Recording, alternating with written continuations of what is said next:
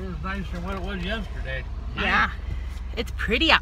We're getting ready to go out into the world. Cold out. Yeah.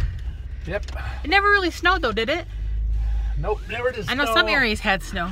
Good day today. Yeah. Neither one of us have coats on. Nope. It's 50 degrees right now. 50. I should have had my shorts on, but No, you're all right. too late for that. Yeah. We got errands to run. This is the brand new Humane Society we came to the other day, but it wasn't open. I see a kitty in the window down there. See that kitty right there in the window? We're gonna go in. We're going back to the dog area, which is back here, down here, and here. We're back in here. This is, who is this? Foxy. Foxy! Look at the little ones. Hi. Why did it Hercules? It's loud. The way it was last year, so. Yeah, we had a dachshund. Very stubborn one. Look at the twin boys. What are their names? Kayla? No, this is Clown and Chubby Boy. Yep. Chubby boy, clown. Yeah, Chubby Boy's on the right. Look at, hi, you look like my very first kitty I ever had named Tigger. Oh, you're so cute too. They're all cute, dang it. Yeah, you're so cute. because she'll lure you in with their looks and then attack. Uh, this is the meanest cat they have. They tell people do not go in. The cat from hell. Yes. Yes. This cat, she's beautiful, but she wants to kill you. yeah, and she's been here for six years. Oh, no, oh. There's nobody she's atta- ever really liked. Is anybody in staff that she Uh, likes? she kind of, but she still bite. Oh, Yeah. this is Sacagawea. Oh, you can't have that. But you can have my finner. You can have my finner. Oh, somebody's mad. Yeah. Hi, Kitty. Which one is this one again? Oh, Keys. Hi, Keys. I hear you purring up here, Miss Yaddle. I see. I hear you purring. Yes, I do. Fun fact about I didn't film too much in the dog area because it was very loud, as you heard. we donated our dog food and our treats. And uh, the one cat, the mean one, it's got a girl that comes and visits her every week that hopefully, when she gets a place of her own, she's going to take her. She's been here for six years. Six years. But, okay, now we're going to head down the road. We're at the big old lake. They're down there working in the sand with the machinery, and there's guys. They have some uh, people from the jail here. I'll show you down here shoveling sand. Oh, there's their there's their sheriff's van. They're all wearing bright orange. So you can see them when they run away. They're not stupid. They know not to run away. They're all down here getting the park ready for season time. A lot of shoveling. Shoveling, sand moving. Lots of it. Okay, now we're going to the other beach. Now we're at a beach just down the road. This is Lions Park. Like I said, we're served there, Chicago. They've been out here working on this sand a little bit too. They have a nice little playground here. And Dad's over here feeding the birds. Kitty's been having a lazy day. She has been holding my bed down all day long.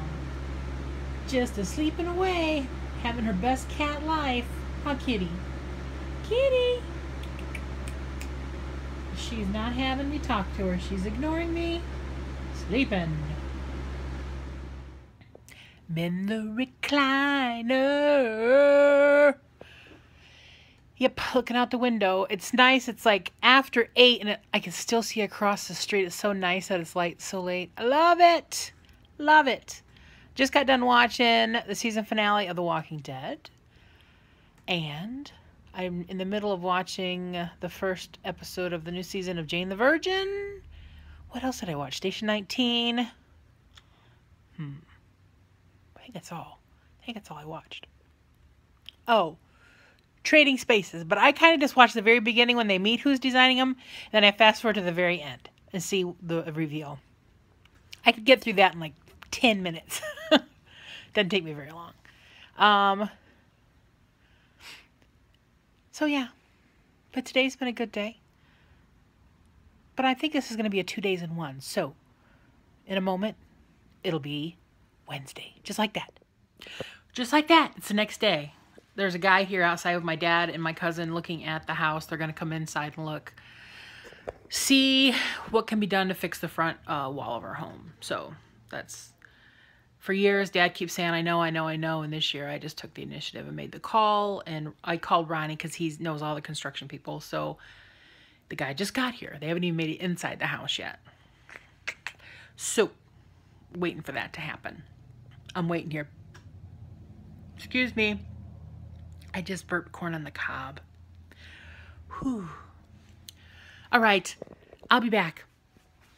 I met the guy, real nice guy. He just came, and then I said, yeah, it starts in here. You can see the cracks go across. I said, this window's leaking so much, the paint's coming off. And then he, I said, here's the worst of it. We went into the living room, and he goes, oh my goodness. Yes, this is something that's not good. And so Dad and Ron are going over to the insurance place right now to, to file a claim. Because if we don't have some sort of insurance help because it was caused by pressure on the roof from snow. Um, but so many years ago, because it's just, dad was just, he's not good at this kind of stuff. And, um, but now he has Ronnie advocating for him and because dad doesn't know what to say or how to, how to address uh, that kind of stuff. And the, the guy who is here is a big, um, he works in insurance claims. He does, uh, houses who have been flooded or hurt in some kind of natural disaster. And um, it's called first response. And so, because if we don't have insurance, fixing our house is going to be like 50 grand. So we got to figure something out. Um, he's like, yeah, Ron and I could probably go on the outside of the house and push hard enough, and your whole front wall will fall in. We're like, we know. Let's not test that theory right yet. so he took some video of it, and yeah, yeah, fun times in the Humphrey household today. Now I'm waiting for them guys to come back from the insurance and see what happens. Craziness. That's just, dad left to go deal with his sister. Even though I asked him on today not to because we were dealing with his insurance stuff, he figured since they went to the insurance office, it, it was all fine. So he left, Ronnie left. Uh, half hour, 45 minutes after they left, phone rings. Insurance people, the ones out of like Arizona who call and get more of the details and stuff. And she could talk to me about a lot of things, but some things specifically, stuff that involves our um, our insurance policy and stuff. I'm not on it, so she can't talk to me about that kind of stuff. And so uh, I said, I'm going to have my dad call and have me put on it so this kind of stuff doesn't happen in the future. Because he would have me talk to you anyway, and she would say, "Well, we we'd have to go on three-way call." Um, so I, I answered a lot of her questions. I took pictures and sent, just sent those uh, on our claim of the whole front wall, inside wall of our house. And uh, really nice lady. She was in Phoenix, and um, she's supposed to call me back here in a few. And I called Dad. I said, "Dad, on your way home." I, first off, I wish you would have not have left. Because I've been dealing with the insurance lady for the last half hour or so. I said, on your way home, I need you to stop at the insurance office and put me on the policy. Dad's like, I'm just putting you on all my policies. Everything, car. um, because I'm on his bank account. I'm on the phone bill. Um, so, and I'm on his life insurance and so he's just going to put me on here so they, they can talk to me about stuff too. Because I told her, I said, you know, he's getting older. He gets so confused about this kind of stuff. And she goes, I understand. That's how my mom is getting. And I we're talking about how sometimes the kid turns into a parent a little bit. And uh, so I talked to her for a while. Got an email address to email my pictures to. Got her direct line. Now I'm waiting for her to call back. Nat, did you die? So, now I have a bunch of work orders to put in toilets are going out left and right, people. Um, so I'm working on that now. Just got our, oh, there was a package in the mail. I opened it because my cousin was here. He went the, he went and got the mail. And, uh, no, my dad went got the mail. He was just here when my dad brought it back. It was in this package. And it had a note. It says, Stacy, for your dad, or to give away to anyone who I know who is interested in golfing. Hope it works. Great fun and exercise golf. It's a Golf Finder electronic golf course directory, and it's just signed NS. They've sent me things before. Who are you? Um, anybody into golf? We have a golf course right across the street from our house. My cousin's like, I think there's an app for that. um, I don't even know if this thing works. I haven't tried it. It says try it now, but press the on button. Maybe it needs new batteries. I've never seen anything like this. So thank you whoever sent me a golf directory thing. My cousin's like, that's unusual. I'm like, it is a little bit. but it made me smile. I'm putting it back in the package. There's no, I don't even know what state it came from. I'm gonna put it right up there. But now I must, I have crap to do before this lady calls. So, this will be the end of it for today. Bye.